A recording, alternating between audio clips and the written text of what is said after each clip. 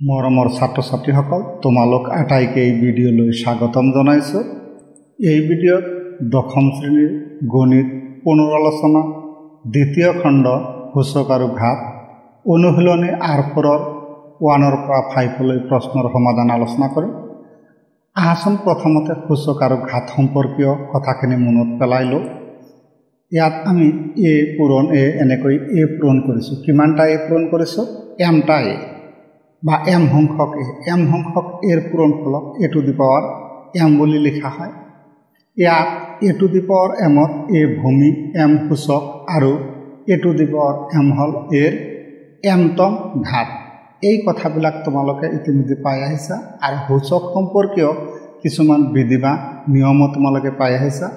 আহাচোন সেই নিয়মখিনি পুনৰ মনত পেলাওক সূচকৰ বিধি যিকোনো অশূন্য অখণ্ড সংখ্যা এ বি এম আৰু এনৰ ক্ষেত্ৰত কি হয়? A to the power m into a to the power n equal a to the power m plus n তাৰমানে পূৰণৰ ক্ষেত্ৰত ভূমি একে হ'লেই সূচক কি হয়? যোগ হয়।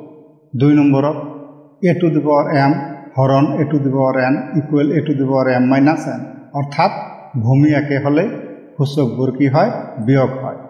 তিনি নম্বৰত লিখিছোঁ আমি a to the power m whole to the power n equal to the power a to the power m তাৰমানে কোনো এটা সূচকীয় সংখ্যাৰ আকৌ সূচক থাকিলে সেই সূচক দুটাৰ পূৰণ ফল হিচাপে আমি লিখিব পাৰোঁ তাৰপিছত চাৰি নম্বৰত a b whole to the power m equal a to the power m b to the power m পাঁচ নম্বৰত a by b whole to the power m equal a to the power m by b to the power m এইবাৰ ছয় নম্বৰ ছয় নম্বৰত পাইছোঁ a to the power minus n সমান one by a to the power n তাৰমানে ঋণাত্মক সূচক থাকিলে তাক আমি এনেদৰে ধনাত্মক সূচকলৈ ৰূপান্তৰ কৰিব পাৰোঁ। সাত number a to the power m হৰণ a to the power n ইয়াক আমি এনেকুৱা ভগ্ন আকাৰত লিখিব পাৰোঁ। নাইবা a to the power m into b to the power minus n হিচাপতো লিখিব পাৰোঁ। এইবাৰ আঠ number a to the power zero' equal one তাৰমানে কোনো সংখ্যাৰ সূচক শূন্য হ'লে তাৰ মান এক হয়। তাৰপিছত আমি ন নম্বৰত লিখিছোঁ a by b whole to the power minus one থাকিলে আমি বি বাই এ লিখিব পাৰোঁ। তাৰমানে কোনো ভগ্নাংশ আকৃতিৰ অখণ্ড সংখ্যা এটাৰ সূচক ঋণাত্মক হ'লে আমি সূচকটোক ধনাত্মক কৰিবলৈ যাওঁতে কি কৰিব লাগে? যিটো ভূমি আছে ভূমিৰ হৰক লভ আৰু লভক হৰ হিচাপত লিখিলেই হয়। এইবাৰ দহ নম্বৰ দহ নম্বৰত minus one to the power n equal one হ'ব যদিহে এনটো কি হয় এই এন যুগ্ম সংখ্যা হয়। আৰু এঘাৰ number minus one to the power n equal to minus one যদিহে কি হয় এন অযুগ্ম সংখ্যা হয়। এইবাৰ এইবাৰ আমি অনুশীলনীৰ অংকখিনি চাওঁ আহা। এক নম্বৰ মান নিৰ্ণয় কৰা। মান নিৰ্ণয় কৰাত এক নম্বৰত আছে ইলেভেন কিউব দুই নম্বৰত টু ইণ্টু টেন কিউব তিনি নম্বৰত one by two to the power minus five আৰু চাৰি নম্বৰত আছে minus four to the power minus সমাধান কৰোঁ আহা প্ৰথমতে আমি কি কৰিম এক নম্বৰ অংকটো কৰিম ইলেভেন কিউব এতিয়া ইলেভেন কিউব মানে eleven into eleven into eleven তাৰমানে তিনিটা ইলেভেন বাই এঘাৰ পূৰণ হৈ আছে এতিয়া এঘাৰ এঘাৰ গুণ এশ একৈছ এশ একৈছ গুণে কিমান হয় তেৰশ একত্ৰিছ এই তেৰশ একত্ৰিছেই হ'ল ইলেভেন কিউবৰ মান এবাৰ আমি দুই নম্বৰটো কৰোঁ। Two into ten cube two টুৱে ৰাখিলোঁ। টেন কিউব মানে ten into ten into ten তাৰমানে টেন ইণ্টু টেনে হাণ্ড্ৰেড হাণ্ড্ৰেড ইণ্টু টেনে কি হয়? ওৱান থাউজেণ্ড অৰ্থাৎ এক হাজাৰ। এতিয়া দুই আৰু এক হাজাৰে পূৰণ কৰিলে কি হয়? দুই হাজাৰ। এই দুই হাজাৰেই হ'ল দুই নম্বৰৰ মান। এইবাৰ আমি তিনি নম্বৰটো কৰোঁ আহা। One by two whole to the power minus five এতিয়া সূচকটো ঋণাত্মক আছে বা নিগেটিভ আছে? ইয়াক যদি আমি ধনাত্মক কৰোঁ তেনেহ'লে one by one by two to the power five লিখিব লাগিব। আৰু শেষত যায় one by two one by one by two হ'লে টু হয়। সেয়ে আমি two to the power five লিখিলোঁ। তাৰমানে দুই পাঁচবাৰ পূৰণ হৈছে। আৰু এইখিনি পূৰণ কৰিলে দুই দুগুণে চাৰি চাৰি দুগুণে আঠ আঠ দুগুণে ষোল্ল ষোল্ল দুগুণে বত্ৰিছ পাওঁ। আৰু চাৰি নম্বৰটো কৰোঁ আহা এইবাৰ। Minus four to the power minus two এই সূচকটো যদি আমি ধনাত্মক কৰোঁ তেনেহ'লে one by minus four square লিখিব লাগিব। এতিয়া one by minus four square মানে ছিক্সটিন ষোল্ল কাৰণ ধনাত্মক আৰু ঋণাত্মক উভয়ৰে বৰ্গ কি হয়? ধনাত্মক হয়। সেয়ে ওৱান বাই ছিক্সটিন পালোঁ। এইটোৱে চাৰি নম্বৰৰ মান। এইবাৰ দুই নম্বৰ চাওঁ আহা। দুই নম্বৰত তলৰ প্ৰতিটো সংখ্যাক সিহঁতৰ মৌলিক উৎপাদকৰ ঘাতৰ পূৰণ ৰূপে প্ৰকাশ কৰা। তলত যিবোৰ সংখ্যা দিয়া আছে, এই সংখ্যাবোৰক আমি কি কৰিব লাগিব? মৌলিক উৎপাদকৰ ঘাতৰ পূৰণ হিচাপত লিখিব লাগিব।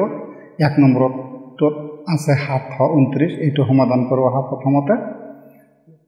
সাতশ ঊনত্ৰিছক যদি আমি সমাধান কৰোঁ, ইয়াক আমি মৌলিক উৎপাদকত প্ৰকাশ কৰিব লাগিব। গতিকে সাতশ ঊনত্ৰিছক দুয়েদি হৰণ নাযায়, সাত দুই ন ন ওঠৰ, তিনি দি যায়। তিনি দি হৰণ দিলে তিনি সাতত দুইবাৰ যায়, এক থাকিল বাৰ বাৰত চাৰিবাৰ যায়। আৰু ন নত যায় তিনিবাৰ। আকৌ তিনি দি যাব। কাৰণ দুই ছয়ে, দুই চাৰি, ছয়, তিনি, ন, তিনি দি গ'লে তিন, দুইত নাযায় চৌব্বিছ চৌব্বিছত যাব আঠবাৰ তিনি আঠ গুণ চৌব্বিছ তিনিত যায় কিমানবাৰ একবাৰ আকৌ তিনি দি যাব, কাৰণ আঠ একে ন, নক তিনি দি যায়, তিনি যাব। আঠত দুইবাৰ থাকিল দুই দুই একে একৈছ একৈছত যাব সাতবাৰ এইবাৰ আকৌ সাতাইছ সাতাইছক তিনি দি যাব, তিনি যায় সাতাইছত নবাৰ নক আকৌ তিনিবাৰ যাব তিনি দি কিমানবাৰ তিনিবাৰ তাৰমানে সাতশ ঊনত্ৰিছক যদি আমি মৌলিক উৎপাদক প্ৰকাশ কৰোঁ, তেনেহ'লে লিখিব পাৰোঁ three into three into three into three into three কিমানটা থ্ৰী আছে? ছিক্সটা সেয়ে লিখিব পাৰোঁ থ্ৰী টু দিব ছিক্স এইবাৰ দুই নম্বৰটো সমাধান কৰোঁ, আহা।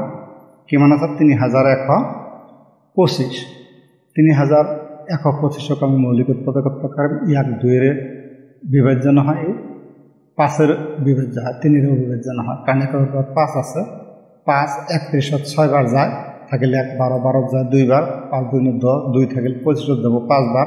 ছয়শো পঁচিছ, ইয়াক আকৌ পাঁচতে যাব।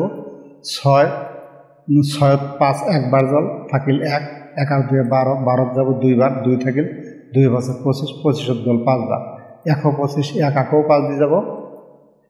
পাঁচ, বাৰত যায় দুইবাৰ, থাকিল দুই, পঁচিছ, পঁচিছত যাব পাঁচবাৰ। পঁচিছ হ'ল, পঁচিছক আকৌ পাঁচ দি যাব, পাঁচ দি কিমানবাৰ? পাঁচবাৰ। তাৰমানে তিনি হাজাৰ এশ পঁচিছ সমান আমি কিমান পালোঁ? পাঁচ পূৰণ পাঁচ পূৰণ পাঁচ পূৰণ পাঁচ পূৰণ পাঁচ। তাৰমানে পাঁচটা পাঁচৰ পূৰণফল হিচাপে পালোঁ। তাৰমানে আমি সূচকীয় ৰূপত লিখিলে পাম five to the power five এইবাৰ আহে আমি দুইৰ তিনি নম্বৰটো চাওঁ। তিনি নম্বৰত কি আছে? তিনি হাজাৰ ছয়শো আৰু চাৰি নম্বৰত এশ আঠ পূৰণ এশ বিৰানব্বৈ প্ৰথমতে তিনি নম্বৰ সমাধান কৰোঁ আহা। তিনি নম্বৰ সমাধান কৰোঁতে প্ৰথমতে মৌলিক উৎপাদকত প্ৰকাশ কৰিব লাগিব। মৌলিক উৎপাদকত প্ৰকাশ কৰোঁতে এক দুইৰে বিভাজ্য হয়, গতিকে দুই দি হৰণ দুই তিনিতে একবাৰ যায়, এক বাকী থাকে। একে ছয় ষোল্ল ষোল্লত আঠবাৰ বাকী নাই শূন্যত যাব, দুই শূন্যবাৰ শূন্যত শূন্যবাৰ ওঠৰ হ'ল। ইয়াক আকৌ দুই দি যাব, দুই একত নাযায় ওঠৰ ওঠৰত যাব নবাৰ শূন্যত যাব শূন্যবাৰ শূন্যত শূন্যবাৰ নশ ইয়াক আকৌ দুই দি যাব। দুই নত চাৰিবাৰ যায়, এক বাকী থাকে, একে শূন্য দহ দহত যাব পাঁচবাৰ আৰু শূন্য শূন্যত যাব দুই শূন্যবাৰ আকৌ দুই দি যাব, দুই চাৰিত যাব কিমানবাৰ? দুইবাৰ। পাঁচ, পাঁচত দুইবাৰ যায়। এক বাকী থাকিলে একে শূন্য, দহ, দহত যাব পাঁচবাৰ। দুইশ পঁচিছ, দুইশ পঁচিছত দুই দিনে যায়। দুই দুই চাৰি আৰু পাঁচত ন। তিনি দি যাব। গতিকে তিনি দি দিলে তিনি দুইত নাযায় বাইছ, বাইছত যাব সাতবাৰ। থাকিলে এক, পোন্ধৰ, পোন্ধৰত যাব কিমানবাৰ? পাঁচবাৰ। পঁচাত্তৰ হ'ল। পঁচাত্তৰত আকৌ তিনি দি যাব। তিনি যায়। সাতত দুইবাৰ। বাকী থাকিলে এক, পোন্ধৰত যাব পাঁচবাৰ। এইবাৰ পঁচিছ হ'ল। পঁচিছত তিনি দিনে যায়। কি দি যাব? পাঁচ দি। পাঁচ পঁচিছত যায় কিমানবাৰ পাঁচবাৰ তাৰমানে তিনি হাজাৰ ছয়শত যদি আমি মৌলিক উৎপাদকত প্ৰকাশ কৰোঁ, কি পাওঁ দুই পূৰণ দুই পূৰণ দুই পূৰণ দুই পূৰণ তিনি পূৰণ তিনি পূৰণ পাঁচ পূৰণ পাঁচ। এতিয়া সূচকীয় ৰূপত লিখিলে দুই আছে কিমানটা চাৰিটা। Two to the power four তিনি আছে দুটা ইণ্টু থ্ৰী স্কুৱাৰ। পাঁচ আছে দুটা ফাইভ স্কুৱাৰ। এইখিনি হ'ল ইয়াৰ সূচকীয় ৰূপ। এইবাৰ আমি চাৰি নম্বৰটো কৰোঁ আহা। এশ আঠ পূৰণ এশ বিৰানব্বৈ। প্রথমত এক আটর মৌলিক উৎপাদক উলিয়াই লোহা ই দুইরে বিভাজ্য, দুই দশত পাঁচবার যায় আর আঠত চারিবার আকো দুই দিয়ে দিলে দুই পাঁচত দুইবার যায়, বাকি থাকে এক, একে চারি চোদ্দ চোদ্দ যাব সাতবার দুই দিনে যাইবার তিনি দি যাব। তিনি সাতাশত যায় নবার আকো তিনি দি যাব, তিনি নত যায় কিমানবার তিনিবার একেদরে আমি এশ বিরানব্বৈ মৌলিক উৎপাদকত প্ৰকাশ কৰিলে দুই দি যাব। দুই একত নাযায় ঊনৈছ ঊনৈছত যাব নবাৰ বাকী থাকিলে এক বাৰ বাৰত যাব ছয়বাৰ ছিয়ানব্বৈ আকৌ দুই দি যাব, দুই নত যায় কিমানবাৰ চাৰিবাৰ এক থাকিল, ষোল্ল ষোল্লত যাব আঠবাৰ আঠচল্লিছ আকৌ দুই দি যাব, দুই চাৰিত যায় দুইবাৰ আৰু আঠত যাব চাৰিবাৰ আকৌ দুই দি যাব, দুই দুইত একবাৰ যায়, আৰু চাৰিত দুইবাৰ যায় এইবাৰ আকৌ দুই দি যাব, দুই বাৰত ছয়বাৰ যায়, আকৌ ছয়কৈ দুই দি যাব, দুই ছয়ত কিমানবাৰ যায়? তিনিবাৰ। তাৰমানে এশ আঠ পূৰণ এশ বিৰান্নব্বৈক আমি মৌলিক উৎপাদকৰ পূৰণফল হিচাপে লিখিলে পাওঁ। দুই পূৰণ দুই, পূৰণ তিনি পূৰণ তিনি পূৰণ তিনি, পূৰণ দুই পূৰণ দুই পূৰণ দুই পূৰণ দুই পূৰণ দুই পূৰণ দুই, পূৰণ তিনি। দুই কিমানটা আছে? এক, দুই, তিনি, চাৰি, পাঁচ, ছয়, সাত, আঠটা।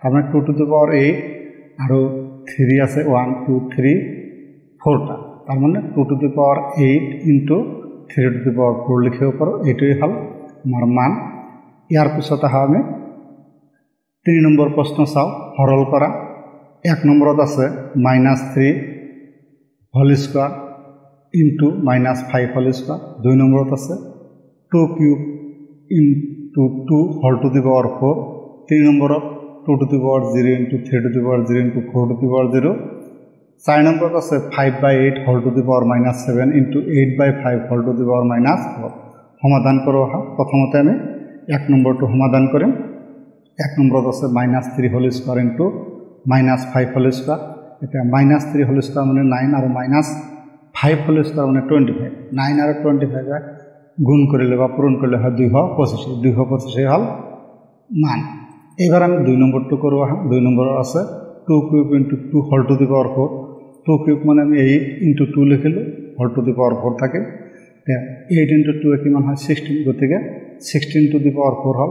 Sixteen to the power four মানে sixty five thousand five hundred thirty six পঁয়ষষ্ঠি হাজাৰ পাঁচশো ছয়ত্ৰিছ এইটোৱে হ'ল দুই নম্বৰৰ উত্তৰ এইবাৰ তিনি নম্বৰ কৰোঁ আহা two to the power zero into three to the power zero into four to the power zero two to the power zero মানে ওৱান ঠিক একেদৰে three to the power zero মানে one four to the power zero মানে one one into one into ওৱানে কি হয়? One হয়।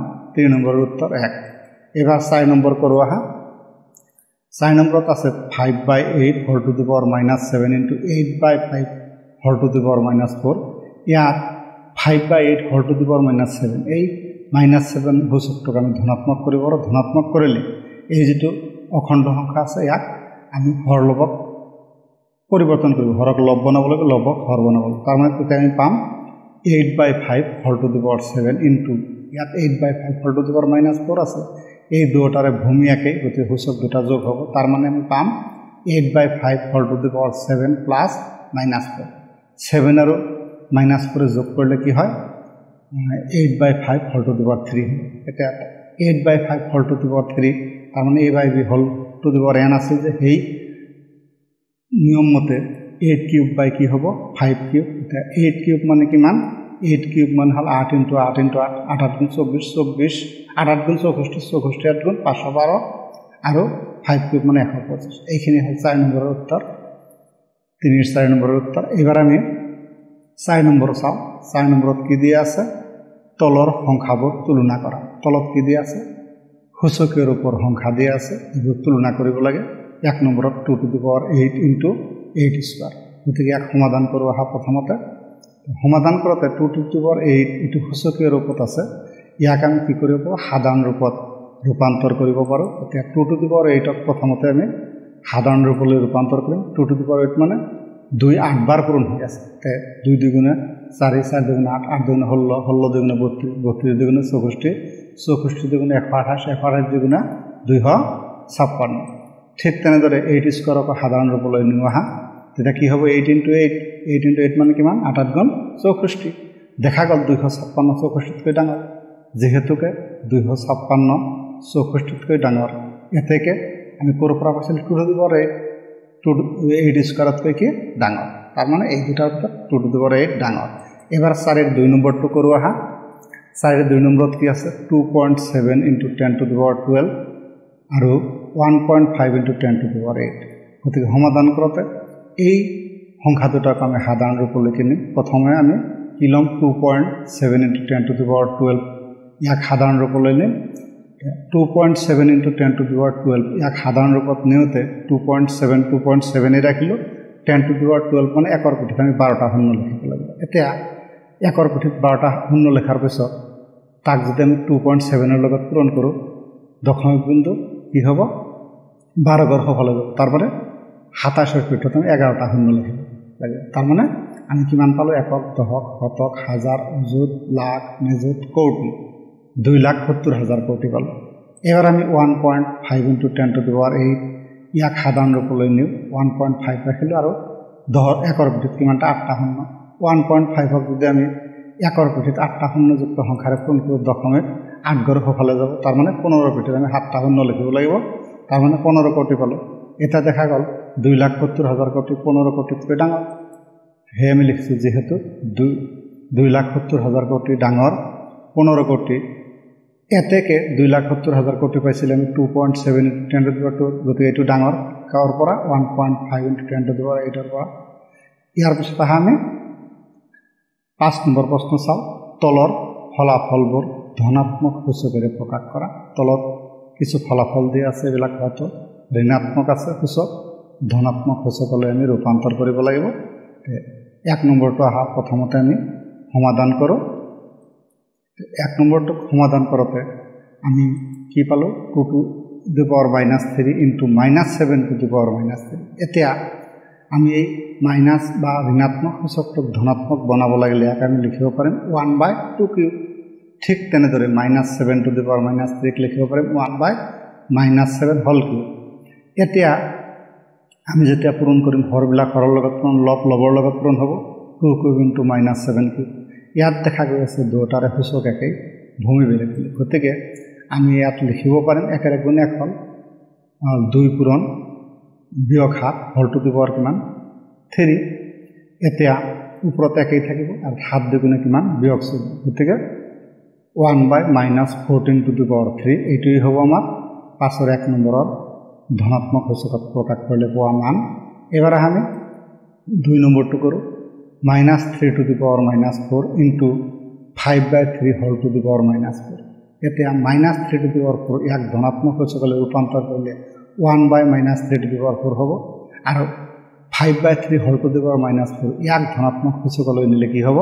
ইয়াৰ যিটো ভগ্নাংশ ৰূপ ইয়াক হৰটো লভ হ'ব লভটো হৰ হ'ব। সেয়ে three by five hall to the power four হ'ব। দুটাৰে সূচক তাৰমানে ইয়াত one by minus three to the power four আছে যদিও one by minus three hall to the power ফ'ৰো আমি লিখিব পাৰোঁ। সেয়ে আমি লিখিলোঁ one by minus three into three by five hall to the power four এতিয়া থ্ৰী থ্ৰীত ওৱান বাৰ যায় আৰু থ্ৰী থ্ৰীত ওৱান বাৰ যায়। তাৰমানে ইয়াত কি থাকিল? One by minus one one by minus one মানে মাইনাছ ওৱান সেয়ে আমি লিখিছোঁ minus one to the power four into ইয়াত থাকিল one by five one by five hall to the power four লিখিছোঁ। এতিয়া one by minus one to the power four মানে one আৰু ইয়াত থাকিল one by five hall to the power four এতিয়া যদি আমি একেৰে পূৰণ কৰোঁ কি পাম? One by five hall to the power four পাম। কিন্তু ওৱান টু পাৱাৰ ফ'ৰ মানে ওৱানে আৰু ফাইভ টু দি পাৱাৰ ফ'ৰক আমি five to the power four হিচাপতে ৰাখিছোঁ। এই ভিডিঅ'ত এইখিনি। তোমালোকৰ ভিডিঅ'টো ভাল লাগিলে লাইক শ্বেয়াৰ আৰু কমেণ্ট কৰিবা। যিসকল এই চেনেলত নতুন তেওঁলোকে চেনেলটো ছাবস্ক্ৰাইব কৰিবা। ধন্যবাদ।